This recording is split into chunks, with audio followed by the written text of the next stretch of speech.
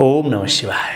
मलमास के हो र मलमासमा के गर्ने के नगर्ने आजको विशेष शीर्षक यस वर्षको मलमास विक्रम सम्बत दुई हजार असी साल श्रावण दुई गतेबाट सुरु हुँदैछ। मलमासमा के गर्ने के नगर्ने भन्ने विषयमा कुरा गर्नु अघि मलमास भनेको के हो त? यसको उत्तर खोजौँ है। तिन सय पैँसठी दिन बराबर एक वर्ष यानि कि बाह्र महिनाको एक वर्ष हुन्छ सबैलाई थाहा भएकै कुरा हो। फेरि मास भनेको सूर्यको गति अनुसार गरिने मासलाई सौर्य मास र चन्द्रमाको गति अनुसार गरिने मासलाई चन्द्रमास भनियो होइन? सामान्यतया सौर्य मासमा उनातिसदेखि बत्तिस दिनसम्मको महिना हुन्छ भने चन्द्रमासमा एउटा पूर्णिमादेखि अर्को पूर्णिमासम्म यानि कि उनातिस दिन बाह्र घन्टा चौवालिस मिनट चौबिस सेकेन्डको एउटा चन्द्रमास हुन्छ। हामीले बुझ्दा पात्रो दुई हिसाबले चल्छ। चन्द्रमास र सौर्यमास अनुसार। चन्द्रमास भनेको तिथिहरू भयो। एकादशी द्वादशी हुँदै पूर्णिमासम्म पुग्ने चन्द्रमास अन्तर्गत भयो भने सौर्यमास भनेको गते अनुसार के? एक गते दुई गते तिन गते चार गते हुँदै अगाडि बढ्ने सौर्य मास अन्तर्गत भयो। यसरी सौर्य मासको गणनामा तिन सय पैँसठी दिनको एक वर्ष हुन्छ। भने फेरि चन्द्रमासको गणना गर्दा तिन सय चौन्न दिनको एक वर्ष हुन्छ। होइन? र फेरि प्रत्येक वर्ष चन्द्रमास सौर्यमासभन्दा एघार दिनले पछाडि हुँदै पछाडि पर्दै आउँछ र तिन वर्षमा ठ्याक्कै तेत्तिस दिन बच्छ। हो यो तेत्तिस दिनले चन्द्रमास र सौर्यमासको फरक पृथकता हुन्छ। र एउटा अलग्गै छुट्टै मास भन्छ त्यो मलमास अथवा अधिक मास भयो। यसरी जुन तेत्तिस दिन बच्छ नि त्यो दिन चाहिँ के हुन्छ? मलमास हुन्छ छुट्टिएको। अलग्गै मल। होइन? तिन वर्षमा जुन तेत्तिस दिनले चन्द्रमास र सौर्यमासको फरक पार्छ नि त्यसलाई अधिक मास अथवा मलमासले मिलान गरिन्छ कि? यो सामान्य बुझाइ भयो।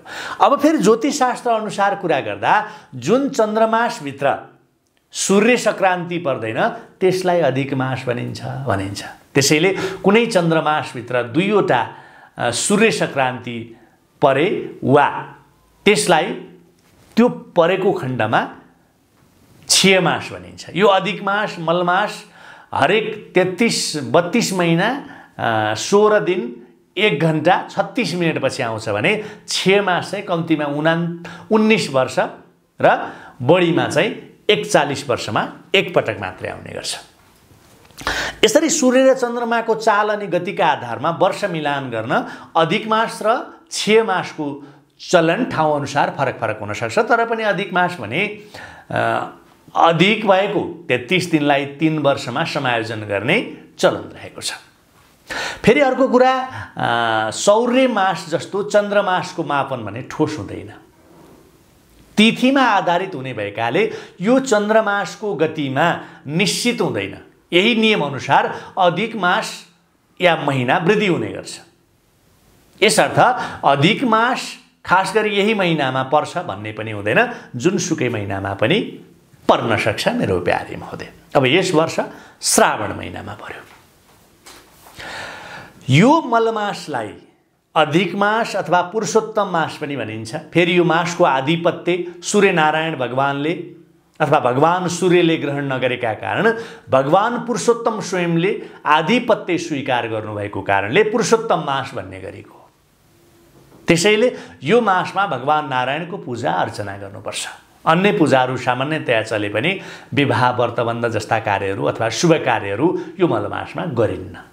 यदि फेरि यो मलमास पति पत्नीले विवाह गरेको प्रथम वर्ष हो भने साथमा बस्नु हुँदैन मलमास छल्नुपर्छ मलमास बार्नुपर्छ भनिन्छ।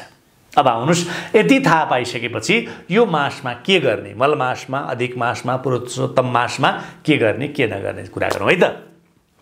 मलमास भन्ने बित्तिकै कति मान्छेहरूको बुझाइ के हुन्छ भने मन्दिर जानै हुन्न पूजापाठ गर्नै हुन्न धर्मकर्म गर्नै हुन्न होइन दान दक्षिणा दिनै हुन्न भन्ने कतिको हुन्छ।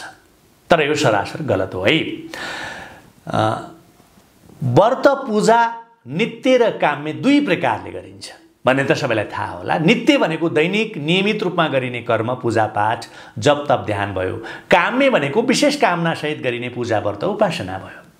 सामान्य रूपले यसरी बुझ्नुहोस्। यो मलमास अधिक मास पुरुषोत्तम मास जे भने पनि नित्य कर्म पूजापाठ जप ध्यान जति पनि गर्नुहुन्छ यो मलमासमा पहिल्यैदेखि आए गर्दै आएको व्रतलाई निरन्तरता दिन पनि हुन्छ यो मलमासमा तपाईँ कन्फ्युजन हुँदै नहुनुहोस् झुक्किँदै नझुक्किनुहोस् तपाईँले अगाडिदेखि नियमित रूपमा गर्दै आउनु भएको छ भने यो मलमासले रोक्दैन।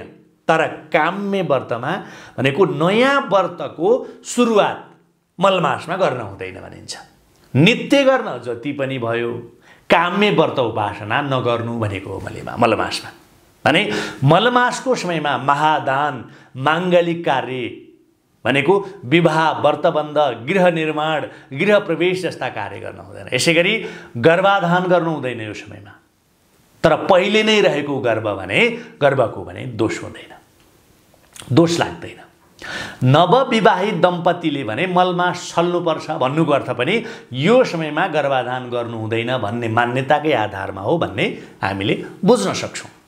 तपाईँले के बुझ्नुहोस् भने बृहस्पति र शुक्र अस्त भएको बेलामा गर्न नहुने जति पनि कामहरू छन् नि ओ मलमासमा ती गर्न भएन। निष्काम भावले गरिने सबै कार्यहरू मलमासमा गर्न हुने भयो र सकाम भनेको कुनै कुराको कामना राखेर गरिने कार्य गर्न हुँदैन भनिन्छ मलमासमा। अग्निकर्म यज्ञ मन्दिरमा देवी देवताको प्राण प्रतिष्ठा कुनै ठुलो दान व्रतको सुरुवात वेदाध्ययन चूडाकरण तीर्थयात्रा विवाह राज्याभिषेक घर बनाउने काम नयाँ सवारी साधन किन्ने काम घर सर्ने काम गृह प्रवेश गर्ने कार्य आदि कार्यहरू मलमासमा वर्जित छ। अर्थात् मलमासमा निषेध छ। यी कामहरू बाहेक अरू निष्काम व्रत पूजा प्रार्थना हामीले जति पनि गर्न मिल्यो। मलमासलाई मासको मल भनेर सबैले हे दृष्टिले हेर्ने होइन? मलमासको समयमा सुमङ्गल कार्य नगर्ने सबै बार महिनाका स्वामी भए पनि मलमासका स्वामी वा अधिपति कुनै भगवान् नभएको कारणले मलमासलाई बहुत ठुलो दुःख लागेछ अरे क्या। प्रत्येक महिनाको आफ्नै स्वामी छन् अधिपति छन् नि त। मलमास अब मासबाट अलग भयो होइन? सबै महिनाहरूले हेला गरे हे दृष्टिले हेर्न थाले उसलाई बहुत दुःख लागेछ। र एक दिन के भएछ भने विष्णु भगवान्सित आफ्नो दुखेसो पोख्न गएछ मलमास। विष्णु भगवान्ले मलमासलाई लिएर गोलोकमा भगवान् श्रीकृष्ण भएको ठाउँमा पुग्नुभएछ र श्रीकृष्णले के भयो भनेर सोद्धा मलमासले रुँदै आफ्नो गुनासो पुगेछ। सबैको अधिपति छन् सबैका सबैका गुरु छन् स्वामी छन्। मेरो कोही पनि भएन म त एक्लो भएँ। मलाई मल भनेर हेपियो।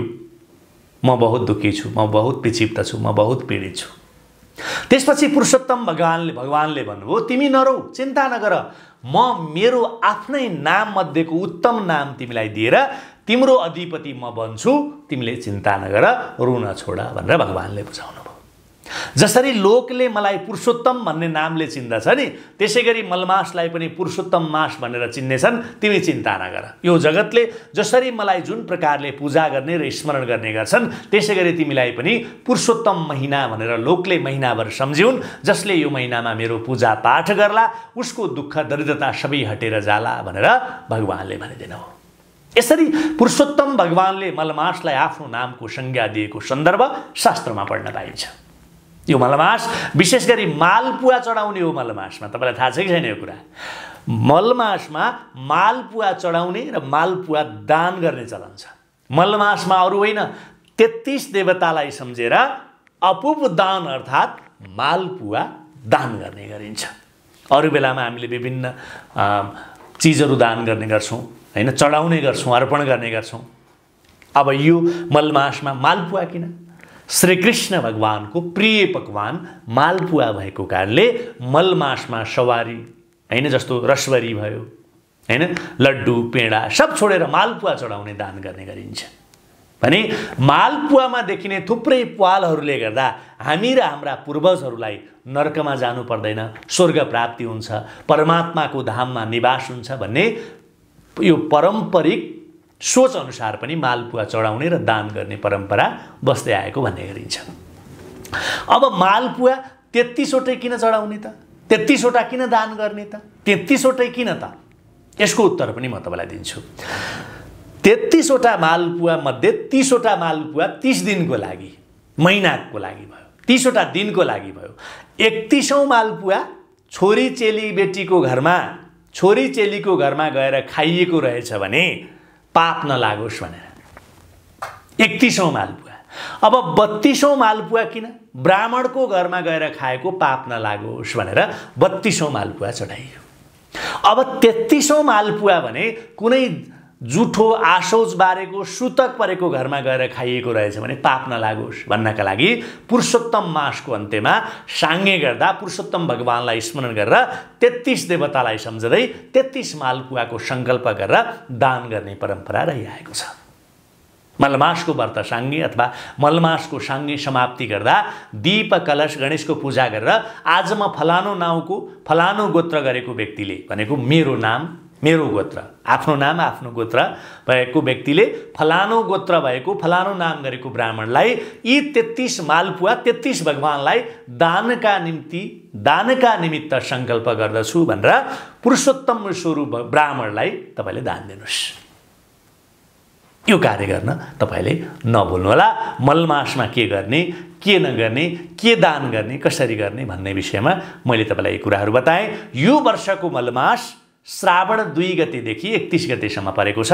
यो समयमा भगवान् श्री पुरुषोत्तमको आराधना गर्न नभुल्नुहोला र नियमित मन्दिर पूजापाठ गर्न जति पनि हुन्छ भगवान्को दर्शन गर्न जति पनि मिल्छ बस सकाम गरिने कार्यहरू मात्रै गर्न वर्जित हो यो कुरामा तपाईँ क्लियर हुनुहोला। लौ त मेरो प्यारेजहरू अर्को भिडियोमा अर्को विषयवस्तु साथ हाम्रो भेट हुनेछ। अहिले बिदा चाहन्छु। जय होस्।